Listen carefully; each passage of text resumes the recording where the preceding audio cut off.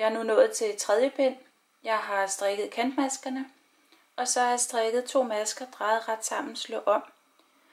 Og det fortsætter jeg med, når jeg når hen til de nye masker.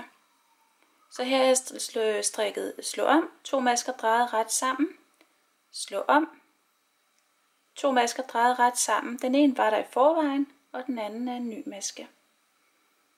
Og sådan fortsætter jeg blot med at genetablere mønstret hen over det hul, jeg har lavet til snippen.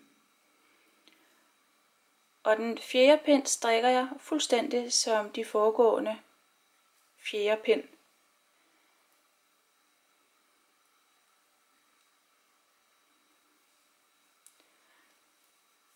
Og så kommer det til at se sådan her ud, hvor du har aflukningskanten og opsløjningskanten, som til forveksling ligner hinanden.